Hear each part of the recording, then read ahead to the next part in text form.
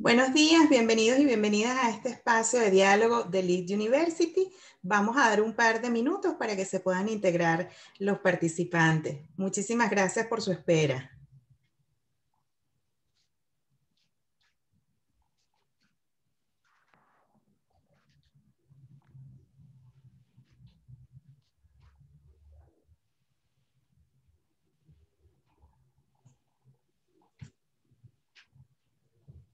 Buenos días, bienvenidos al webinar Tendencias de Habilidades Laborales de Lead University. Vamos a dar un minuto más para que los participantes se integren. Muchísimas gracias por su espera.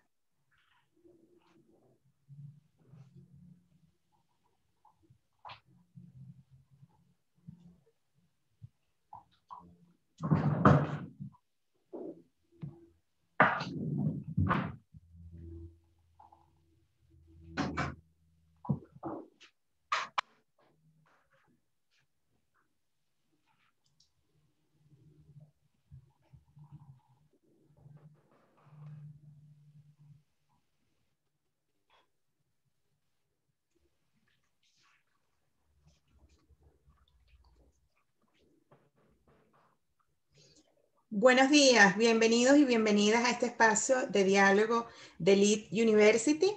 Mi nombre es Priscila Villanueva, directora de Desarrollo y Venta Regional de Lead University. En esta oportunidad seré la moderadora y también seré parte de la presentación del webinar Tendencias de Habilidades Laborales, espacio donde tendremos la oportunidad de conocer de parte de Laura Centeno hacia dónde se están moviendo las nuevas exigencias laborales y cómo podemos prepararnos para enfrentar los retos de empleabilidad en los próximos años. Me gustaría comenzar comentando que Laura se dedica a conectar a las personas que buscan mejores oportunidades laborales con los empleados más reconocidos local y globalmente. Cuenta con una formación superior en recursos humanos, maestría en comunicación y mercadeo y amplia experiencia en consultoría de talento humano. Actualmente está a cargo de la Dirección de Desarrollo Profesional y Empleabilidad en Lead University, ofreciendo talento calificado en las empresas y opciones profesionales a estudiantes. Aprovecho la oportunidad para invitarles a participar activamente. Nos pueden hacer llegar sus preguntas y comentarios en el chat o en la sección de QA. Al finalizar la presentación, atenderemos sus consultas. Ahora vamos a pasar a ver la agenda del día de hoy en la próxima lámina. El día de hoy contaremos con una presentación de parte de Laura y vamos a revisar la agenda donde vamos a revisar las nuevas tendencias en habilidades. Vamos a estar tratando qué significan los términos de reskilling y upskilling, también vamos a estar conversando acerca de cómo el COVID-19 nos ha exigido adaptarnos tanto a las empresas como a los individuos, cómo podemos manejar la adopción de nuevas tecnologías, cuáles son esos trabajos del futuro y también, muy importante, vamos a recibir una cantidad de tips para disminuir la brecha en habilidades del futuro. Y por último, vamos a cerrar con la propuesta de valor de Lead University, justamente para cerrar alguna de estas brechas. Adelante, Laura. Buenos días, un placer estar por acá, Priscila, y, tener pues este espacio de, de, reflexión un poquito, ¿verdad? De autoanálisis este, sobre el tema de las habilidades que se están empezando, digamos, a pedir cada vez más frecuentemente en las empresas y para lo cual tanto los empleadores como las personas eh, profesionales o quienes quieran aplicar algún tipo de trabajo, necesitamos este, irnos preparando para eso. Eh, la información que les vamos a compartir está sobre todo con base en el World Economic Forum, entonces ellos hicieron un estudio, en ese estudio vienen cuáles son las, este, las habilidades que vamos a estar necesitando de este año, bueno, del año pasado, del 2020, hasta el 2025. Entonces, con base en esta información, es que vamos a, orientar eh, cómo vamos a ir desarrollando o a qué habilidades vamos a ir nos este, afianzando para estar preparados porque los próximos cinco años van a venir con muchísimos cambios y, pues evidentemente tenemos que estar preparados. Eh, bueno, vamos a hablar sobre el tema de las, de las habilidades, que bueno, para nadie es un secreto que eh, las habilidades pueden ser de tres tipos.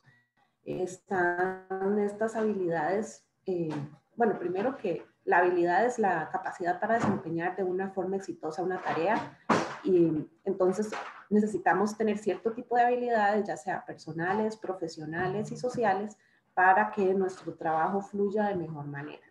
Entonces, dicho esto, pues vamos a hablar un poquito de, bueno, cuáles son nuestras habilidades personales.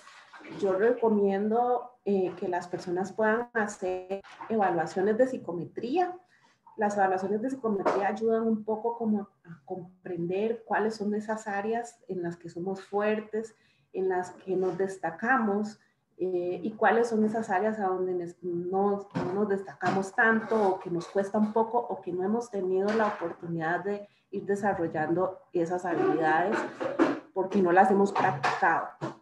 Em, las habilidades personales generalmente ya vienen, es, es todo lo que viene dentro del ADN, ¿verdad? Si yo soy una persona reservada, si yo soy una persona seria, si yo soy una persona este, que le encanta el humor, que le encanta hablar con los demás, entonces todo eso va fijando en nuestra, nuestras habilidades eh, en diferentes términos que son necesarios para poder ejercer algún tipo de trabajo. Luego están las habilidades profesionales, que básicamente es toda la parte cognitiva, todo lo que vamos aprendiendo desde el kinder hasta que hacemos cursos, eh, no sé, una maestría o una certificación en alguna especialidad, etc. Entonces, todas estas habilidades duras, incluyendo los idiomas, pues también son muy importantes que les demos relevancia, más, más que todo en estos momentos. ¿Por qué? Porque todo ha cambiado tan rápidamente y de una forma tan abrupta que no nos queda otra más que volver a aprender a cada rato, aprender y desaprender.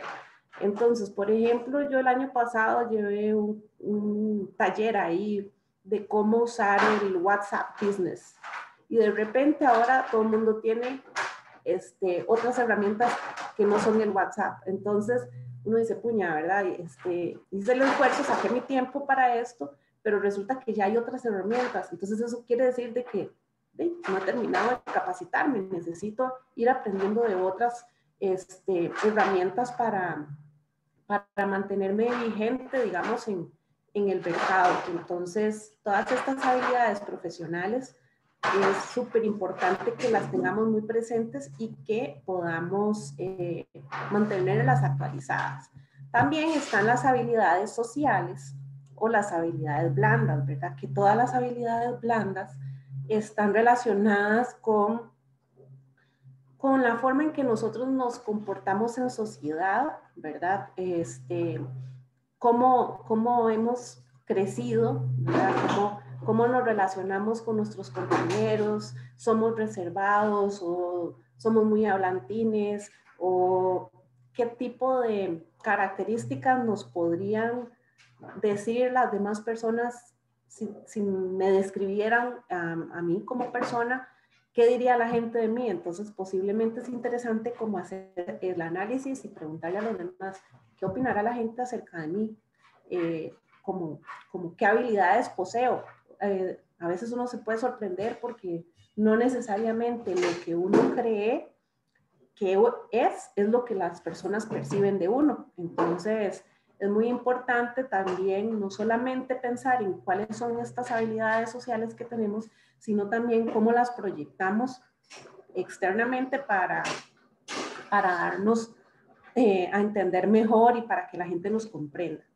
Entonces, existen dos, eh, dos términos muy importantes en el tema de las habilidades que está muy en boga en estos momentos, que es el tema del reskilling y el upskilling.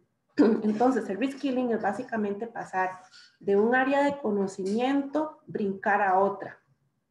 Y el upskilling es básicamente especializarnos en un área en donde ya estamos trabajando.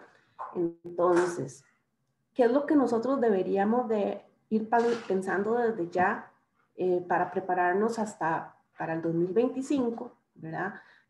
Si será que mi puesto de trabajo va a tener ciertas modificaciones, eh, si será más bien que mi puesto de trabajo va a llegar a dejar de existir en algún momento, o qué tipo de herramientas necesitaría para poder desarrollarme mejor de aquí al 2025, ¿verdad? Con todos los cambios que ya este, hemos estado viviendo desde el año anterior, ¿verdad? Entonces, este, el reskilling básicamente tiene que ver con expandir la, gama de conocimientos que ya tenemos, ¿verdad? De aprender cosas nuevas, incluso áreas en las que no habíamos tenido la oportunidad de, o no nos habíamos dado el chance de aprender. Este, es brincar, digamos, de un área a otra.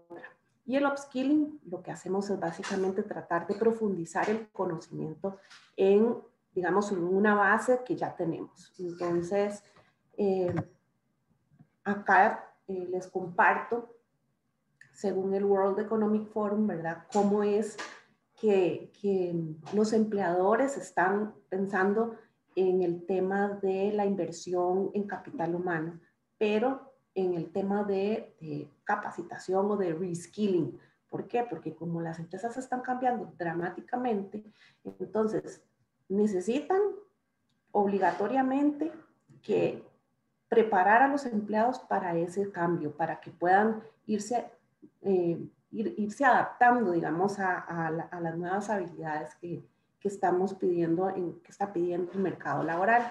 Entonces, esto básicamente nos dice de que dos de cada tres empleadores esperan tener un retorno de la inversión del reskilling en términos de un año, ¿verdad?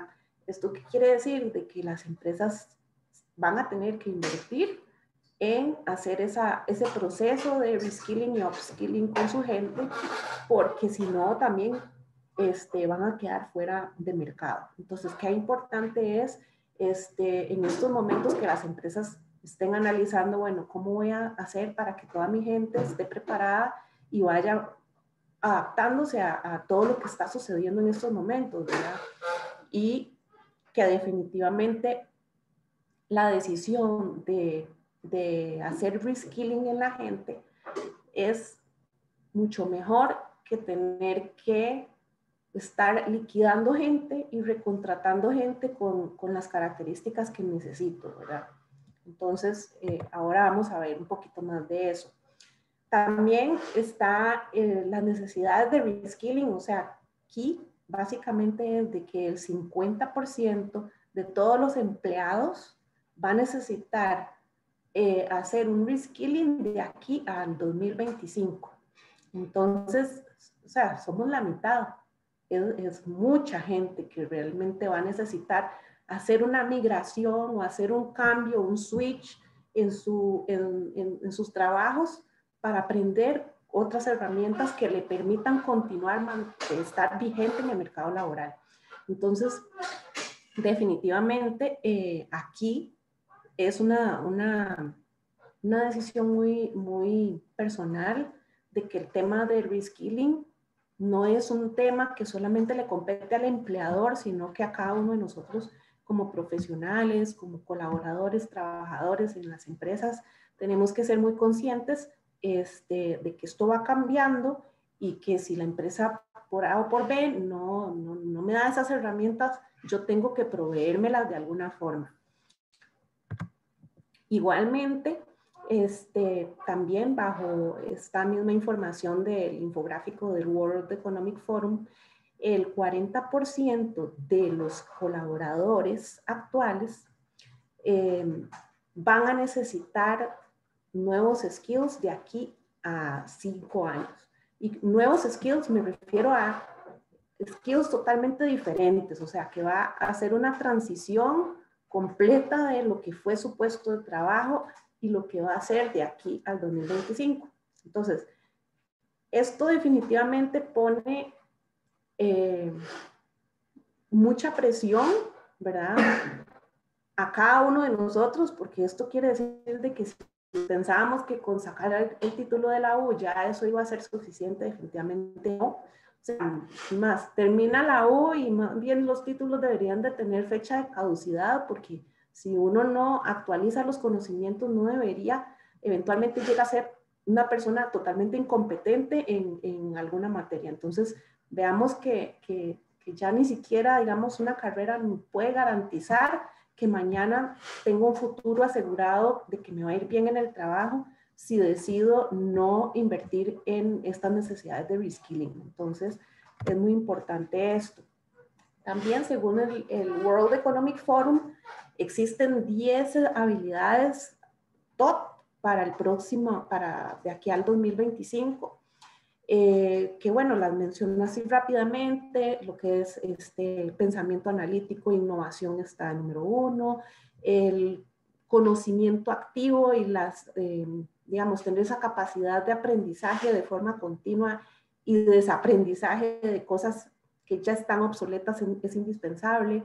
Poder resolver problemas complejos es una de las de los requisitos, ¿verdad? También tener un pensamiento crítico y ser analítico, ¿verdad? No necesariamente como antes a uno le enseñaban, bueno, esta es, esta es la, información y esto es lo que usted se tiene que aprender, sino que realmente ahora más bien es, bueno, ¿y pero por qué? ¿Y por qué no se puede hacer de tal forma? ¿Y por qué? Em, ¿Y quién dijo que esto era así? Y, ¿Verdad? O sea, em, antes la gente no estaba como acostumbrada a cuestionarse quién era la fuente de información del aprendizaje que obtenía. Entonces era, es esto y punto. Y todo el mundo, ok, es eso, ¿verdad? Pero ya ahora no, ahora es, bueno, ¿y quién dijo eso? ¿Y pero por qué tiene que ser necesariamente de esa manera? Entonces ese pensamiento analítico ya se ha vuelto sumamente importante. También la creatividad y tener originalidad, iniciativa. El tema de la iniciativa es básico eh, y cada vez es más trascendental porque no estamos teniendo una supervisión constante como antes, sobre todo las personas que hemos tenido la, el chance de estar trabajando desde casa y que no tenemos al jefe encima, este, eh, podemos definitivamente decir de que si no tenemos iniciativa y los proyectos no empiezan a caminar como deben ir, podemos quedarnos sin empleo, ¿verdad? Entonces se necesita que tengamos este, ese, esa habilidad de autogestión, ¿verdad? Y de tener uno la iniciativa para que sucedan cosas este, novedosas. Eh, también es súper importante el liderazgo y la influencia social, o sea, que las habilidades de comunicación, de trabajo en equipo, de integración, de poder este, comunicarme de forma asertiva con los demás, respetuosa, este, y de tener buenas relaciones interpersonales y ser una buena persona en general, eso definitivamente va a ayudar a que mi trabajo se pueda convertir en una pesadilla o que las cosas fluyan muy bien porque tengo esas habilidades. Eh, obviamente el tema de la tecnología es indispensable, cada vez van surgiendo nuevas herramientas. Eh, necesitamos evidentemente pues estar preparados a, estos cambios, ¿verdad? Eh, también conocimiento de y programación es importante. La resiliencia y la tolerancia y la flexibilidad también se han convertido en herramientas importantes o en habilidades necesarias eh, sobre todo el tema de la flexibilidad, porque como todo está cambiando de una forma tan, tan veloz, este, tenemos que buscar cómo, cómo flexibilizarnos, ¿verdad? Cómo, cómo adaptarnos a ese nuevo entorno y cómo ser resilientes. Y, y bueno, todos los cambios se sufren, ¿verdad? No es fácil. Eh, cualquier cambio, desde, desde cambiarse este, de una vivienda o cambiar de estudios o cualquier tipo de cambio realmente implica eh, eh, salirme de la zona de confort. Entonces, este, eso es muy importante, tener esa resiliencia porque vamos a estar teniéndonos que salir de la zona de confort más frecuentemente. y obviamente pues tener el razonamiento y, y, resolución de problemas eh, es también muy importante. Entonces básicamente las, los 10 skills que se necesitan de aquí al 25 están enfocados en resolución de problemas, la adaptación tecnológica, la autogestión que nosotros tengamos y el trabajo en equipo. ¿verdad? Entonces, antes, antes de continuar, me, me, gustaría aquí realizar algunos comentarios para complementar lo que estás comentando en la lámina anterior y así aprovechas y revisas el, el ruido que me parece que por el micrófono se está escuchando un, mucho ruido. Entonces, a mí me gustaría ampliar acá esta lámina. Primero, me parece fabuloso este estudio que nos hace eh, el World Economic Forum con cierta frecuencia y es interesante porque ellos anteriormente hacían este estudio y proyectaban eh, las 10 habilidades para los próximos 10 años. Ahora estamos hablando de los próximos 5 años solamente. Entonces, esto nos demuestra cómo cada vez más eh, necesitamos adaptarnos más rápido y adquirir habilidades mucho más rápido que lo que veníamos acostumbrados. Entonces es interesante reflexionar acerca de estas habilidades y cómo nosotros estamos eh, posicionados en cada una de estas habilidades, cuáles son esas habilidades que necesitamos reforzar, potenciar, eh, adquirir, eh, porque realmente estas son las habilidades que van a, que ya están siendo valoradas por, por, los empleadores y que no necesariamente estamos adquiriendo a través de un proceso formal. Entonces, bueno, revisemos cómo estamos y aquí invito al público a valorar y validar cómo se encuentran eh, con respecto a cada una de estas habilidades y cómo podemos ir armando un plan de acción que nos permita ir desarrollando estas habilidades. Adelante, Laura. Muchísimas gracias por compartir esta información. Ok, perfecto. Vamos a ver si ahora se oye menos ruido. Cualquier cosa me avisa. Bueno, pues entonces esas son las, las 10 habilidades para los próximos 5 años. Posiblemente van a, va, va a hacer cada menos tiempo eh, este tipo de, modificaciones en, en, las habilidades laborales. ¿Y qué pasó de simple y sencillamente que el COVID este, nos impulsó, nos empujó, eh, hizo que todo el, el, tema de la tecnología y la parte digital eh, se convirtiera en la herramienta del día a día para cualquier tipo de acción que nosotros tengamos. Entonces, desde antes, desde ir al supermercado hasta hacer cierto tipo de compras, eh, totalmente nos ha cambiado eh, la forma en la que nosotros trabajamos, la forma en que nosotros gestionamos, solicitamos cosas y las empresas han tenido que adaptarse este, a digitalizarse, ¿verdad? Entonces, el COVID obviamente empujó en un 83% a, que se diera este, el trabajo de, forma remota, ¿verdad? Entonces ya no estamos necesariamente eh, en una oficina sentados ocho horas, sino que eh, podemos conectarnos mientras haya internet, todo bien, y mientras yo cumpla con mis, requerimientos y las obligaciones de mi casa y de mi trabajo y demás, estamos, este, estamos bien. Entonces, eso, eso es uno de los principales cambios, ¿verdad? Entonces, el, trabajo remoto. En segundo término, también está la aceleración de la digitalización. Eso, pues básicamente lo que ha hecho es que tengamos que, que, que movernos hacia las plataformas para empezar a trabajar y a gestionar cosas de una manera digital, ¿verdad? Entonces, si antes estábamos acostumbrados a ir al banco a hacer una fila o a ir al supermercado a pagar la tarjeta de crédito, los recibos de agua, luz y teléfono, eh, nos vimos de alguna forma obligados a, utilizar las plataformas que antes nos daban muchísimo temor, este, porque no estábamos seguros si, si iba a funcionar o no, eh, sobre todo, digamos, las generaciones de los baby boomers. Eh, entonces, esa aceleración digital ha hecho que cambiemos muchísimo nuestra conducta y, la forma en que ejercemos diferentes tipos de, acciones, ¿verdad? Entonces, y también en, un 50%, el COVID empujó a que se acelerara la automatización. Entonces, esto definitivamente es, es información importante porque, porque definitivamente no está cambiando nuestras vidas, está cambiando también nuestros trabajos, la forma en que nosotros eh, veníamos acostumbrados a hacer las cosas ya cambió y para siempre, por lo visto, y puede que, que, que sean mucho más acelerado a futuro.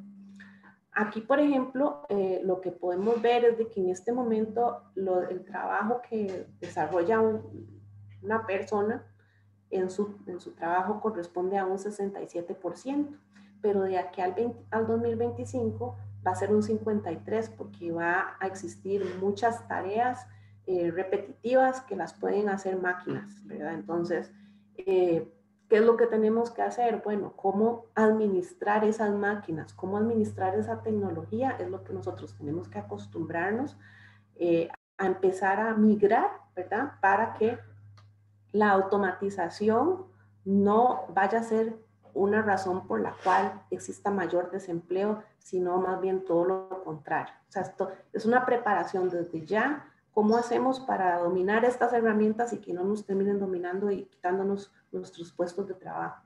Entonces, es, esto es importante también. Y bueno, en buena hora o la buena noticia es de que, de que, por ejemplo, el tiempo que se necesita para construir o para desarrollar nuevas habilidades en los trabajos del mañana, este, no, es, no, es tan, no es, se requieren años de conocimiento, sino que realmente se requiere de cierto tipo de tiempo para poder dominarlo de alguna manera.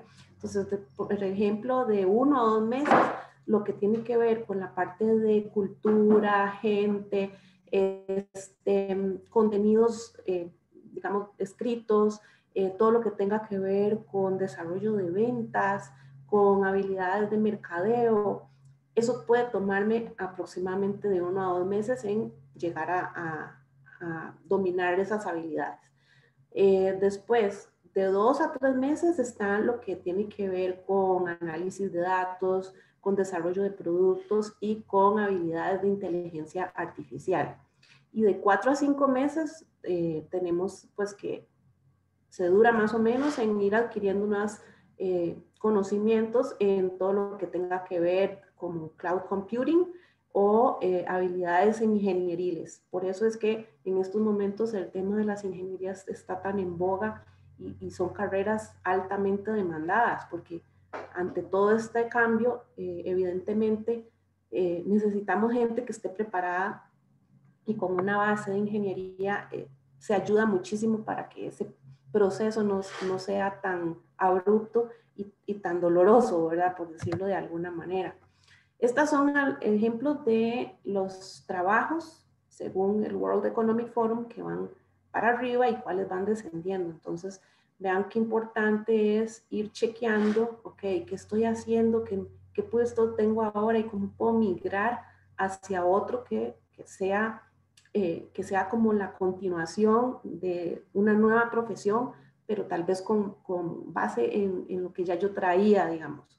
Por ejemplo, los trabajos con alta demanda, bueno, está para número uno, eh, científicos de datos son indispensables ahorita y las empresas se los pelean y, y prácticamente que los científicos de datos son muy pocos eh, y ojalá que las mujeres eh, puedan, podamos ir empezando a incursionar más en esta parte porque generalmente son hombres y, y no es suficiente, o sea, no es suficiente, es necesario que eh, más gente se involucre en todo lo que tiene que ver con ciencia de datos para, eh, para salir adelante, porque esto es lo que las empresas están necesitando, es donde hay mayor cantidad de trabajo, mayores oportunidades, mejores beneficios.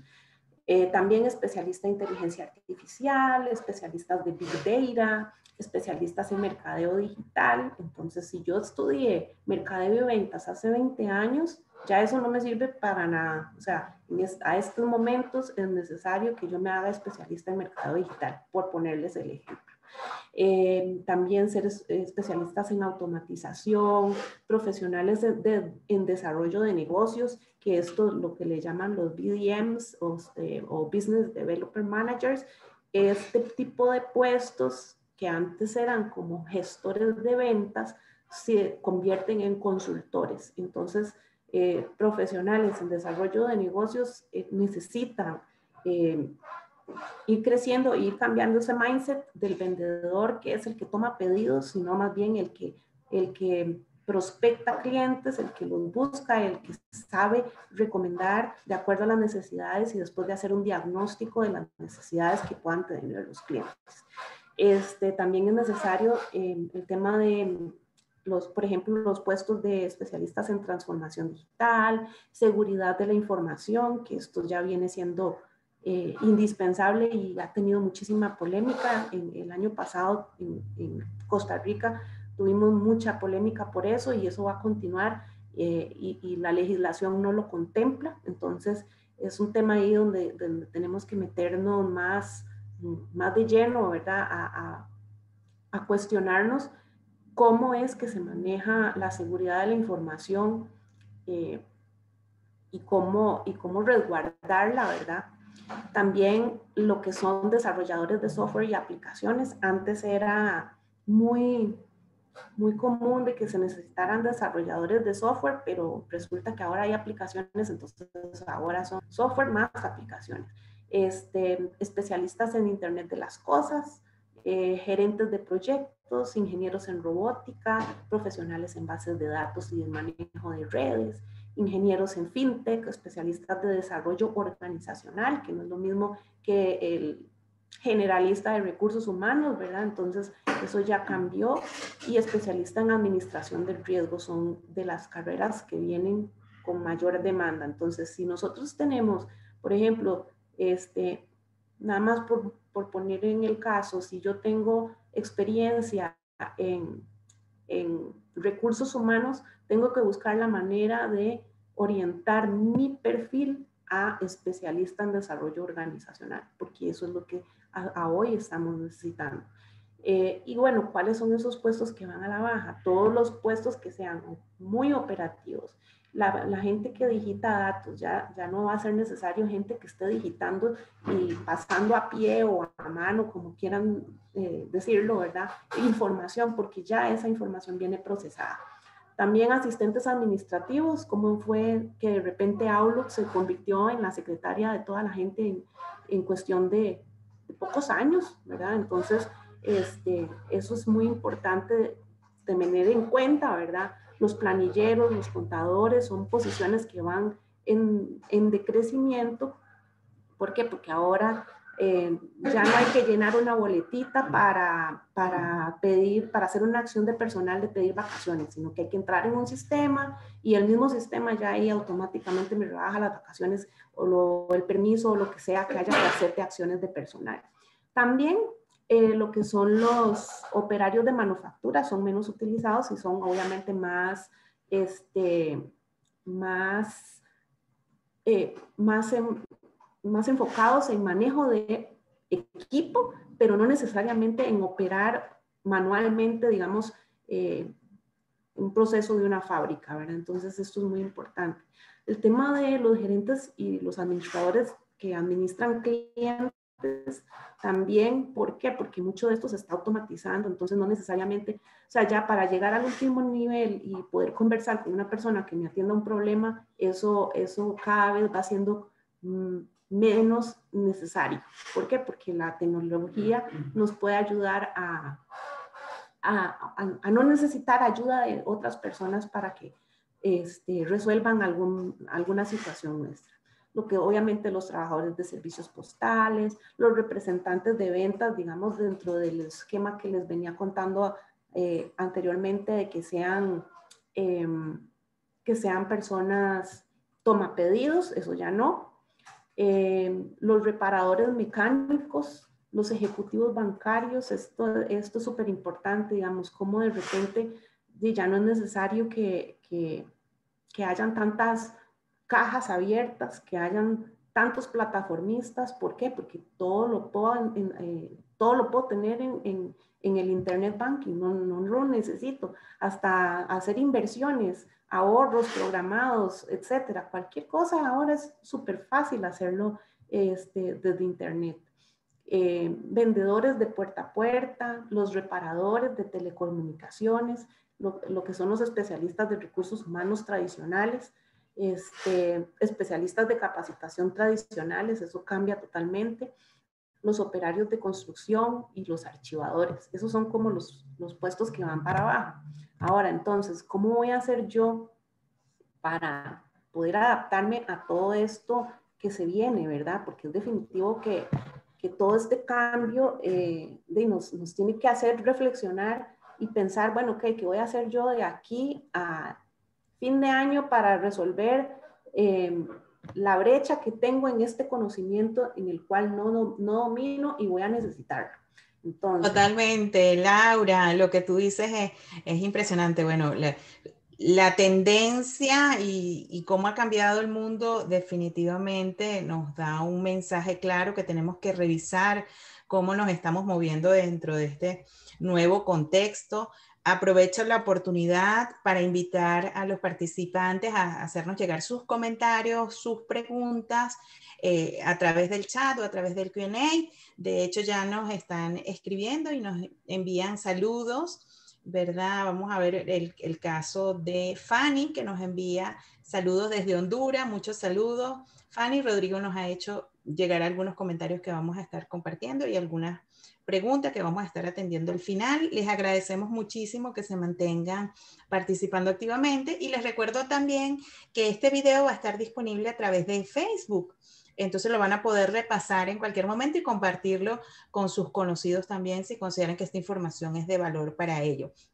Entonces, bueno, Laura, hasta ahora hemos visto que eh, el cambio es inminente, necesitamos adaptarnos y más bien ahora pasemos a la, siguiente etapa. ¿Cómo nos adaptamos? ¿Cómo empezamos a reflexionar acerca de estas brechas que tenemos y cómo, tanto desde el punto de vista de empleado, qué hago? Y desde el punto de vista de empleador también, ¿qué hago? Adelante, Laura. Bueno, perfecto. Entonces, en vista de todo lo que hablamos anteriormente, este, existen algunas acciones que podemos empezar a, tomar desde ya, como por ejemplo empezar a, hacer un, mapeo de las brechas de las habilidades de los colaboradores que tenemos hoy en día.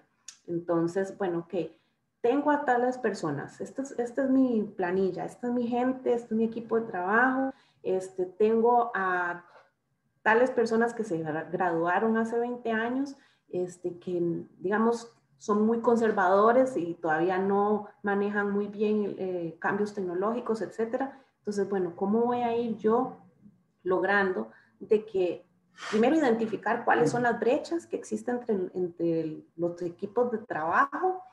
Después es muy importante porque aquí es donde viene, este, sobre todo para los para el área de talento humano, que busquen la manera de postear cuánto cuesta este, todo el proceso de reclutamiento, todo el proceso de inducción y las liquidaciones de personal versus las capacitaciones que les puedan dar a la gente para no tener que estar en este eh, constante eh, rotación de personal. Entonces, si nosotros ponemos en una balanza, es muchísimo más caro eh, hacer todo el proceso de reclutamiento, toda la inducción al, puesto, ¿verdad? Ok, ya aprendió, ya está eh, eh, maduro, ya está 100% productivo y después este, tener que liquidarlo porque con el tiempo no, no continúa actualizando los, los conocimientos. Entonces, definitivamente estas tres áreas, el reclutamiento, la inducción y las liquidaciones son demasiado caras, sobre todo si estamos hablando de gente que tiene 10, 15 años de estar trabajando en la misma empresa, ¿verdad? Entonces, ¿cómo vamos a lograr, cómo vamos a migrar a esta gente que se prepare para no, para, no salir de, del mercado?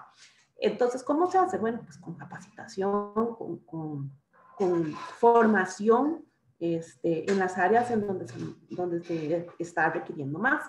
Igualmente también hay que eh, separar el reskilling de los puestos que están descendientes y el upskilling. Por ejemplo, la gente que tiene muy alto potencial en algunas áreas es bueno como irlas desarrollando y, llevarlas al siguiente nivel con upskilling, o sea, con capacitaciones que sean más de, mayor profundidad sobre, sobre su área específica, ¿verdad? Este, y obviamente, pues en las posiciones que sean de alta demanda, ¿verdad? Igualmente también es muy importante este, hacer o usar inversión de capacitación priorizando a la gente destacada. Eso eh, lo van a agradecer todos, tanto le sirve a la empresa como a los colaboradores. Si invierten en mi capacitación, yo agradezco de que estén pensando en, en, formarme y en mantenerme actualizada. Eso es un beneficio, es un beneficio que queda para la vida. Entonces, este, si nosotros tratamos de hacer ver que la capacitación es, no es eh, una obligación o que tengo que llevar este curso y que, pereza, sino más bien gracias a la empresa que me está ofreciendo la capacitación en tal área eh, y verlo como un beneficio, Y que ojalá pudiera llegar a ser este, parte de los paquetes de compensación de la gente, que la gente eventualmente pudiera decir que tiene al año un monto fijo para que lo pueda utilizar en capacitaciones que estén relacionadas con sus trabajos. Este, también es muy importante, otro tip para los empleadores es el, multiplicar el conocimiento. No se puede mandar a todo el mundo a cursos a cada rato, no. Este, lo que tenemos que hacer es, bueno, decidir quiénes son esos high potentials que puedan llevar eh, algún tipo de curso o capacitación y que después puedan replicar ese conocimiento y compartirlo internamente dentro de la organización con sus demás compañeros. Entonces, este, es una manera pues, que también nos, nos puede servir bastante para, para que multipliquemos el conocimiento dentro de la empresa. Y crear alianzas y convenios con entes académicos o certificadores que sean importantes. Eh, ¿Por qué sirve mucho esto? Porque si se crean alianzas con las empresas y con la parte académica, entonces existen muchos beneficios, como por ejemplo el hecho de que los empleadores puedan decir, necesito este, gente de entry level para, para posiciones, eh, ando buscando pasantes para que me ayuden con este proyecto, con esta necesidad puntual. Eh, entonces, las mismas universidades pueden apoyar, digamos, en la gestión de atracción de personal. Eh, y también, ¿verdad? Si se puede hacer convenios con estos entes, eh, de tener la, posibilidad de tener descuentos en los programas académicos que se tengan, ¿verdad? Entonces, obviamente, por comprar en volumen cursos y capacitaciones, pues eso evidentemente va creando una alianza este, que es muy estrecha y muy, muy indispensable en este momento. Ahora, pensando en los colaboradores, eh, y nosotros los profesionales también, este, bueno, ¿qué es lo que nosotros debemos hacer eh, después de haber visto cuáles son esos 25 skills necesarios? Este, ¿Qué tipo de, de skills tengo que hacer, digamos, un cambio en mi skilling o cuáles tengo que empezar a profundizar más o hacer un upskilling entonces? Primero debo chequear mi currículum, mi perfil de LinkedIn eh, y revisar ¿Cuándo fue la última vez que yo llevé cursos? ¿Cuándo fue la última vez que me actualicé? ¿Cuándo me dieron el último título importante que, me sirva? Digamos, obviamente tomando en cuenta las habilidades que les mencioné anteriormente según el World Economic Forum. Eh, ahora también, después de, hacer este chequeo, ¿verdad? Y, y, de identificar cuáles son los gaps que existen, entonces, dentro de la carrera, ¿qué tipo de habilidades piden los empleadores que yo tenga pendiente o que todavía no domino suficiente? Entonces, es bueno empezar a chequear en LinkedIn qué tipo de posiciones están posteando y cuáles son los requisitos que están pidiendo actualmente para puestos similares al mío. Y ver eh, qué herramientas no, no conozco todavía y que debería empezar a aprender para, para mantenerme vigente en el mercado. También es muy necesario que la gente tenga muy claro de que la formación es un proceso permanente de toda la vida. O sea, que si yo estudié y saqué un título, que ese título de aquí a 10 años no me va a servir. Eso ya cambió. Antes uno podía decir si es el abogado, y el abogado terminó su carrera y ejerció toda su vida este, en el área del derecho, pero resulta que ahora hay tantos cambios, por ejemplo, en solo la legislación laboral, el año pasado hubo cambios dramáticos que ha hecho que, los especialistas en recursos humanos necesiten abogados que estén en todas con, con el tema de, de, los cambios en la legislación laboral.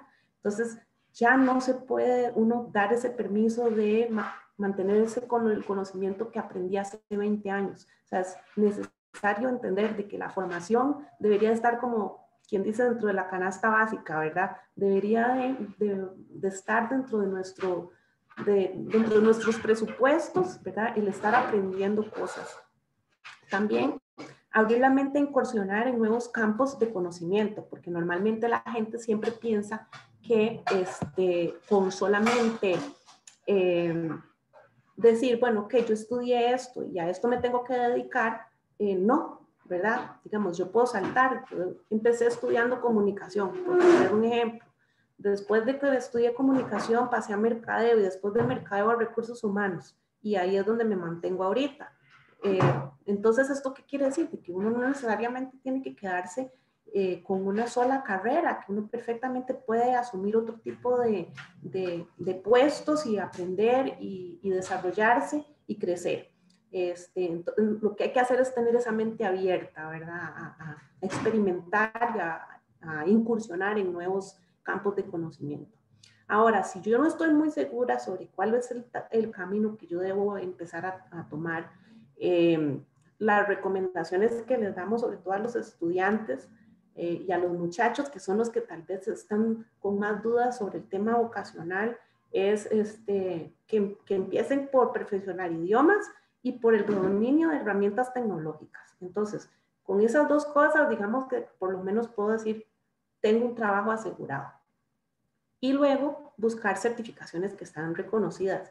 Eh, ahorita hay muchas opciones online y de hecho LEED está incursionando con, los, con, con este tipo de, de herramientas. Por ejemplo, Aquí les pongo eh, el caso, digamos, de cómo era antes que se veían los títulos, ¿verdad? De un profesional que ponía en su pared, en su oficina, los títulos y ahora cómo es que, cómo es que se ven los títulos. Bueno, ahí yo los puedo poner en un open batch, ¿verdad? Que son medallas digitales este, que, que están sobre una base de datos eh, global de contratos y que la información que se guarda ahí no puede ser alterada, entonces eso qué quiere decir? De que yo puedo certificar y dar garantía de que mi título de lead este, lo llevé y lo aprobé satisfactoriamente. Entonces, esto, digamos, por ejemplo, se usa mucho ahora en LinkedIn. La gente va subiendo los badges que va adquiriendo conforme va llevando cursos y eso se ve súper bien en, en, su perfil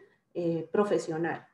Entonces, y pasamos igual, como era antes el CV normal, todo el mundo decía, bueno, necesito trabajar muy bien en el CV. Y sí, hay que trabajar muy bien en el CV, pero más que todo en estos momentos, en lo que más hay que trabajar es en tener muy bien, em, muy bien desarrollado mi perfil eh, de redes sociales eh, profesionales y en las bolsas de empleo profesionales, o bueno, en las bolsas de empleo electrónicas, mejor dicho. si yo tengo esta información bien actualizada y, y pongo que ya estoy aprendiendo y que ya domino todas las habilidades que hablamos anteriormente, entonces vamos a tener más posibilidades de que nos den un mejor trabajo.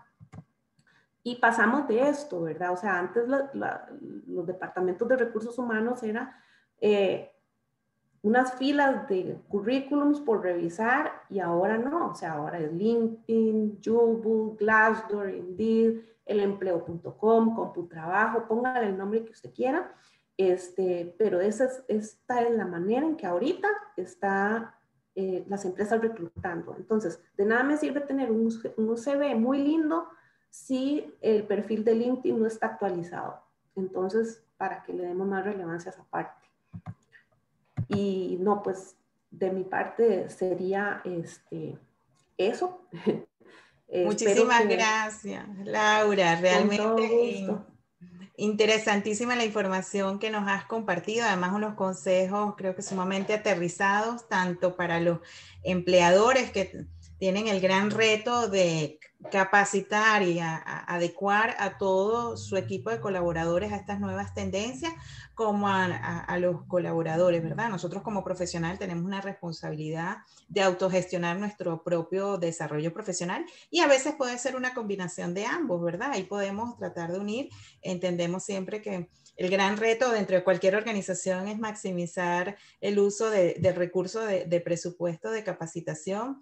Sin embargo, seguramente con fórmulas mixtas eh, todos vamos a poder ganar. Y bueno, dentro de este contexto que nos comentaba Laura, eh, eh, Lead University lo que busque ser eh, excepcional y ofreciendo programas académicos que permitan formar profesionales excepcionales a través de la más alta calidad, donde los estudiantes, los profesores y las empresas convergen para formar una experiencia educacional que se adapta a estas nuevas realidades de los mercados productivos.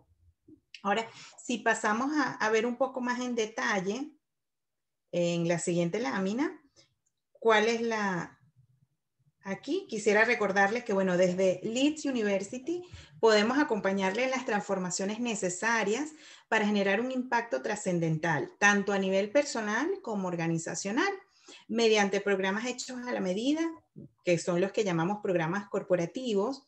También contamos con eh, bachilleratos, maestrías, especialidades y cursos cortos muy orientados a los temas que nos presentaba Laura. Aquí es muy interesante eh, que hemos tratado de ir desarrollando un portafolio de eh, cursos y especialidades y programas en general muy orientados a poder desarrollar esas habilidades del futuro. Aquí podemos ver que en los cursos cortos para atender las necesidades de formación a corto plazo, contamos con una serie de cursos cortos orientados a introducirnos rápidamente en temas de vanguardia, en las áreas de liderazgo, transformación digital, operaciones, mercadeo y venta y finanzas también.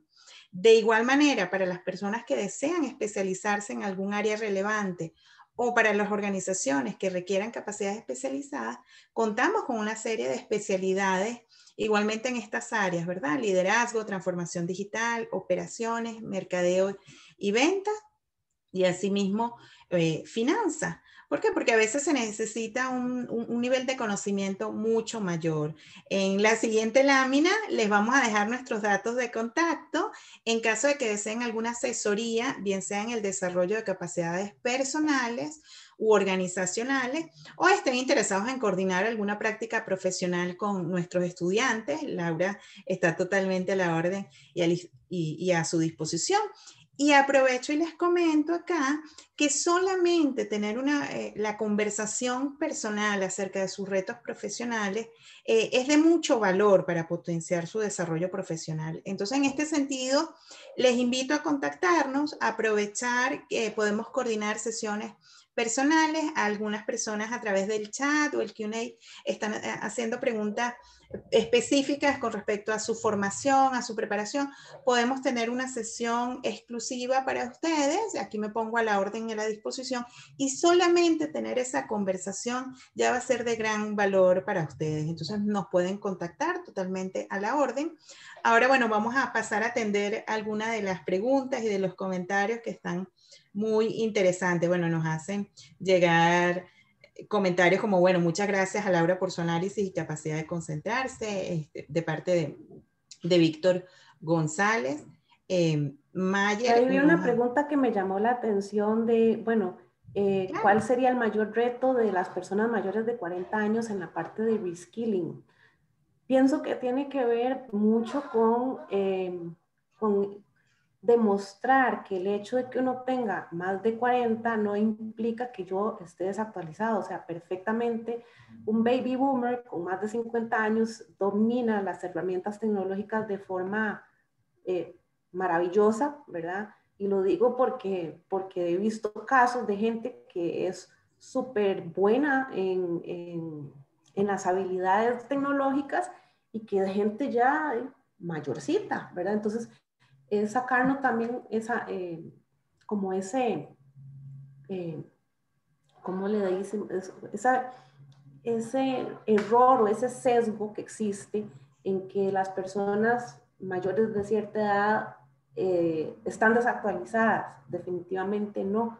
Es, esto, como les comentaba, es un proceso continuo y la gente de más de 40 años, pues básicamente lo que tiene que hacer es buscar la manera de demostrar que sí tiene las capacidades como si fuera una persona recién graduada de, de, la universidad, este, y que más bien que, que, que, tiene una ventaja y es muchos años de experiencia, que ha pasado por muchas situaciones y que ya posiblemente le ha tocado resolver temas que una persona que nunca lo ha hecho, este, pues vaya a tener que enfrentarse por primera vez a, a, a lo desconocido.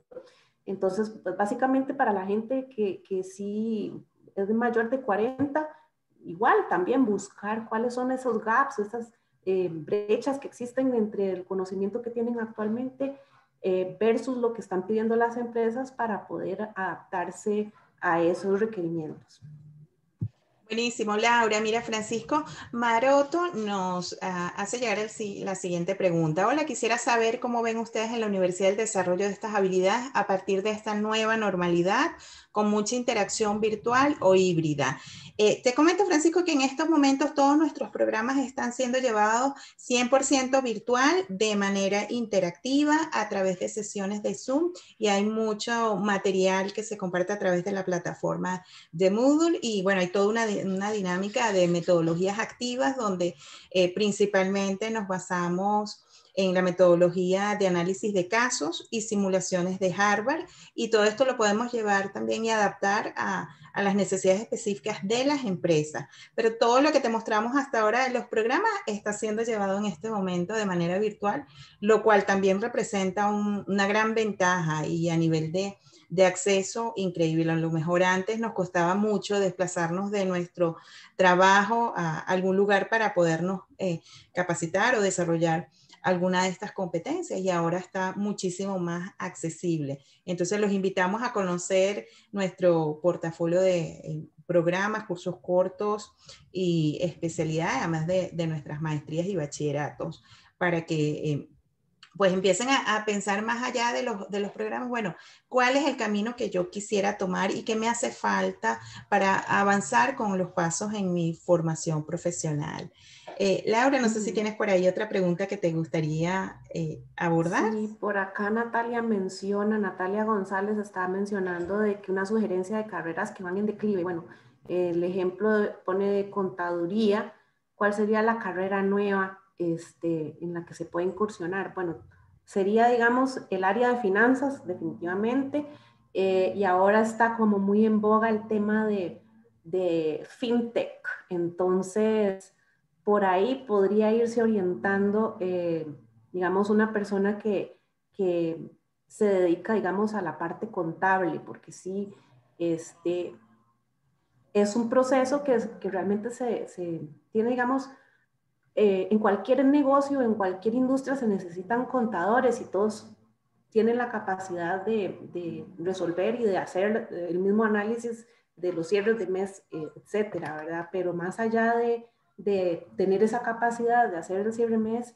es este, profundizar más en la parte financiera, en poder sintetizar eh, sobre, sobre información histórica y que puedan sobre eso eh, llegar a, a, a, proyectar a futuro que puede llegar a suceder. Entonces, esa parte, digamos, de contabilidad ya se queda corta.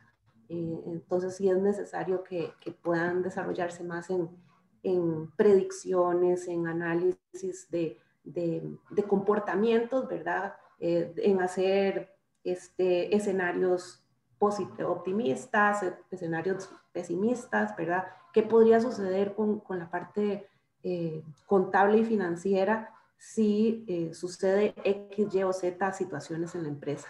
Entonces, por ahí no sé, espero haberle aclarado la duda.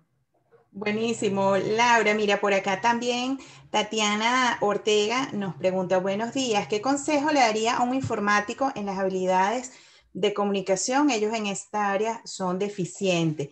Mire, yo, yo te diría que una persona que está en el área informática tiene una cantidad de opciones impresionantes para especializarse en diferentes áreas muy vinculadas a, todo el tema de transformación digital, pero adicionalmente es importante eh, desarrollar lo que llaman habilidades blandas, todo lo que tiene que ver con liderazgo, con habilidades de comunicación. Entonces, en LEED tenemos un programa de comunicación eh, efectiva en los negocios, lo cual le, invitamos a, revisar, pero así como está este curso, pues podemos tener otras opciones, pero vale la pena revisar cuáles son los retos que se está planteando la persona a corto, mediano y largo plazo e ir elaborando un plan de desarrollo que, le permita ir superando cada uno de esos retos y a la vez ir viendo los resultados del desarrollo de esas habilidades y de esas competencias. Yo lo que deseo es mi, especializarme en un área, cambiar de sector, lo que quiero es buscar una oportunidad de ascenso,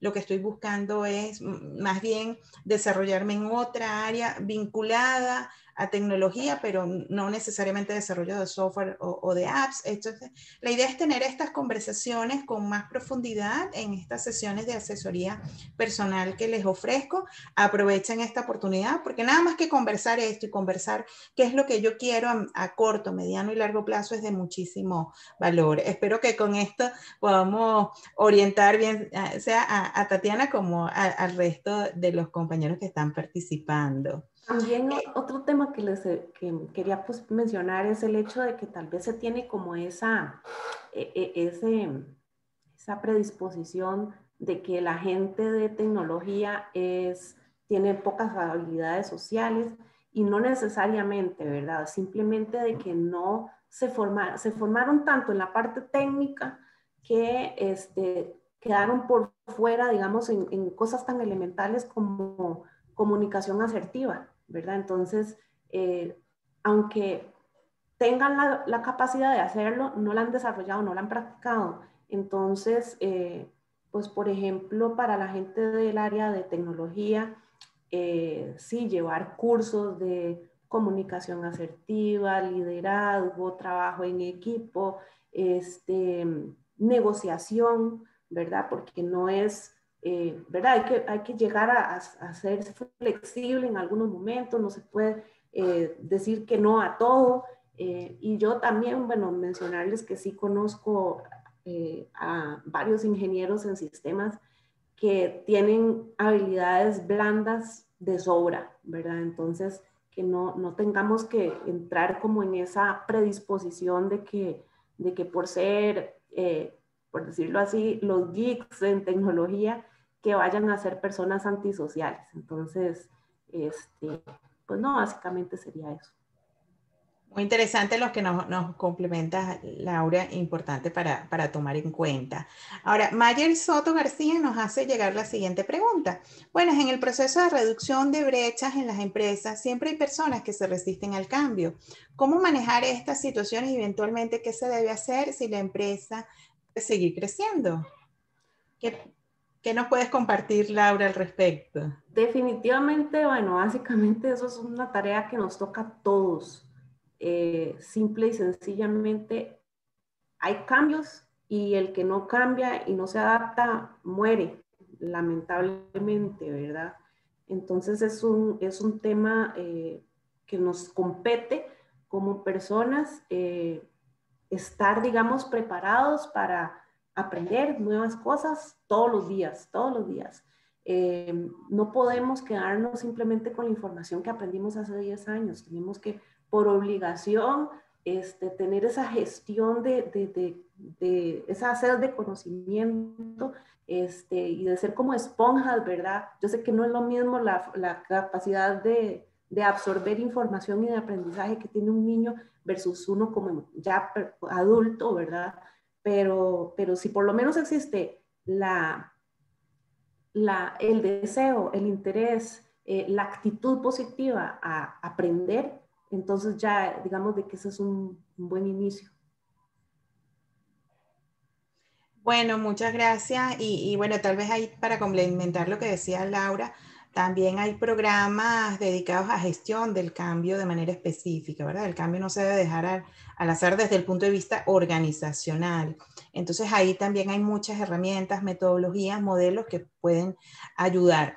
Ahora, por otro lado, yo, esta pregunta me hizo recordar algo que me decía mucho un profesor, ¿verdad? Si uno siente que tiene que estar impulsando constantemente el cambio en la organización y uno siente que no tiene respuesta de la organización, el que está mal ubicado es uno. Entonces, uno es el que tiene que mirar hacia afuera y buscar una organización donde uno pueda aportar con, desde sus talentos. Entonces, también les dejo esa reflexión eh, para, para mirar las dos perspectivas, ¿verdad? Bueno, Adriana Solano nos pregunta, buenos días, ¿las asesorías personales tienen algún costo?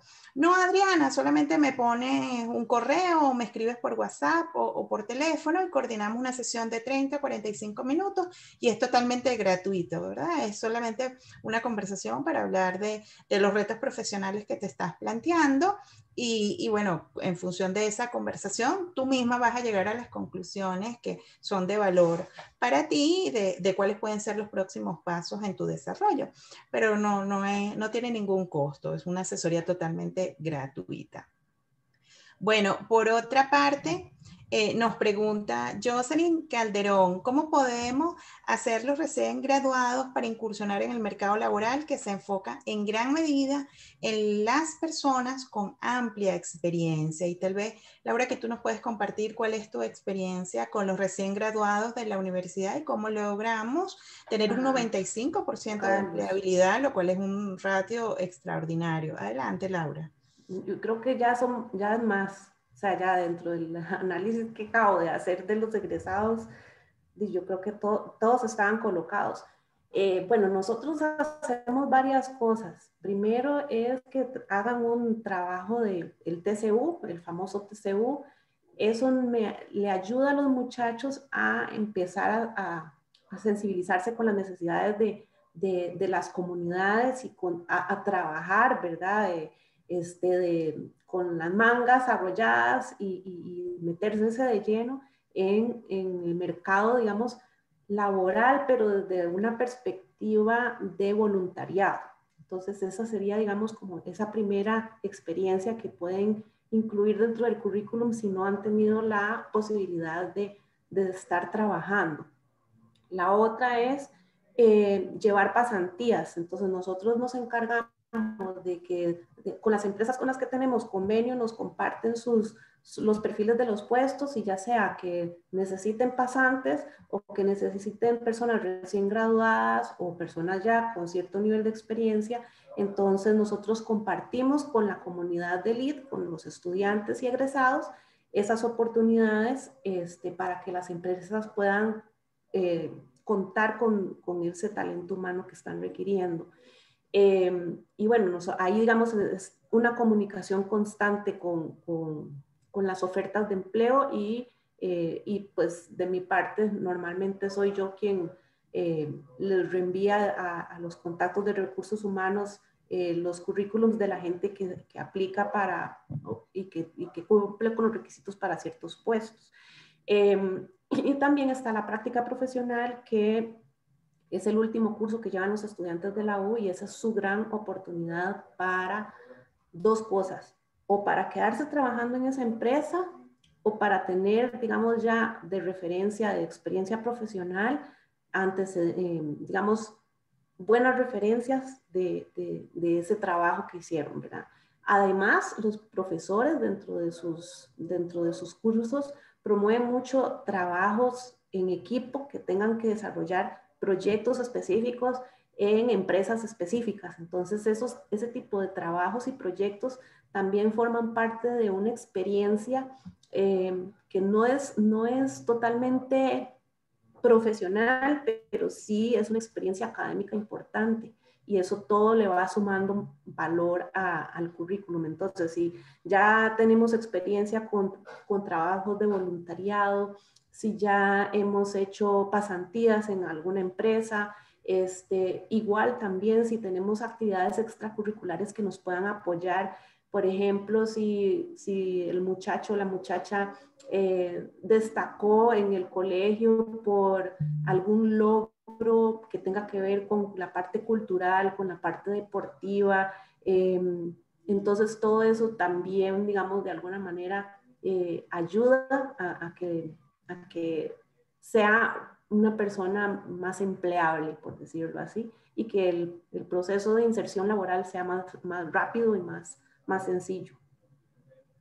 Buenísimo. Bueno, Rodrigo nos hace llegar un comentario que, que, ciertamente es muy válido. Estamos constantemente revisando cuáles son las tendencias dentro de eh, leads para poder desarrollar cursos que cubran la mayor cantidad de estos temas y constantemente estamos también incorporando eh, reconocidos expertos en las áreas para incorporarlo dentro de la facultad. Entonces eso es parte de la dinámica de Leeds y, quisiera dar un ejemplo que me parece emblemático. Leeds fue la primera universidad privada en Costa Rica en sacar el bachillerato en ingeniería en ciencias de datos. Me parece que es un tema eh, emblemático que vale la pena compartir y es una muestra de cómo estamos tratando de atender los temas de tendencia y cómo ir formando eh, ese talento humano que tanto requieren todos nuestros países de la región. Aprovecho y le agradezco mucho a Nancy Muñoz que nos acaba de hacer llegar sus datos, contacto, todas las personas que deseen dejarnos sus datos, contacto por acá, bienvenido. Van a ser eh, contactados eh, si quieren hacer el enlace con Laura para hacer pasantías o prácticas profesionales. Está Laura a la total disposición. Y para ir cerrando, voy a, comentar una última pregunta para que Laura nos ayude a hacer el, el, cierre final, que tiene que ver con, eh, en caso de los que somos de talento humano, especialistas en desarrollo organizacional, ¿qué otras habilidades, si tengo experiencia gerencial de muchos años, eh, reskilling, ¿qué me recomienda? Muchas gracias por la excelente presentación, Laura. Aquí de manera muy general yo voy a dar algunos tips para que Laura nos haga el cierre, pero eh, puedes tener muchas áreas eh, de interés. Ah, si estás en el área de, talento humano, como acaba de, comentar eh, Laura, y seguramente Laura va a ampliar lo que yo voy a, decir, pero tal vez el tema de transformación digital es uno de los temas que está sobre el tapete, que requiere mucho de gestión del cambio, y al tener herramientas de desarrollo organizacional, se potencian muchísimo los servicios de consultoría, asesoría en estas áreas. Esa puede ser un área, pero estoy segura que hay más. Pero adelante, Laura. Sí, bueno, realmente yo iba por ese mismo camino. Por ejemplo, hay posiciones eh, de recursos humanos que se necesita conocer también el perfil, que prácticamente se necesita ser también profesional en esa área para poder seleccionar o hacer una preselección de candidatos para un puesto de tecnología. Entonces, por ejemplo, reclutadores que estén especializados en buscar talento en, en áreas tecnológicas es muy, muy valor, altamente valorado en estos momentos. Algunas empresas se han, pues, se han cuestionado, bueno, ¿qué hago? ¿Contrato un experto de recursos humanos o mejor que sea, o pongo a un ingeniero en sistemas a reclutar? Porque necesitamos que esta persona tenga esa capacidad de comprender a, profundidad el perfil y de definir si los candidatos que aplican cumplen o no cumplen con los conocimientos requeridos y son conocimientos complejos este, y muy técnicos que tal vez una persona del área propiamente de recursos humanos no lo domine.